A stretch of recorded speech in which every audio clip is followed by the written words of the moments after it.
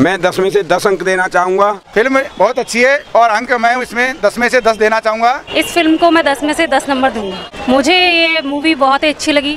यह फ़िल्म बहुत ही प्रेरणास्पद है। यह फ़िल्म उनको गुरुओं को सम्मान दिलाने में बहुत मददगार रहेगी।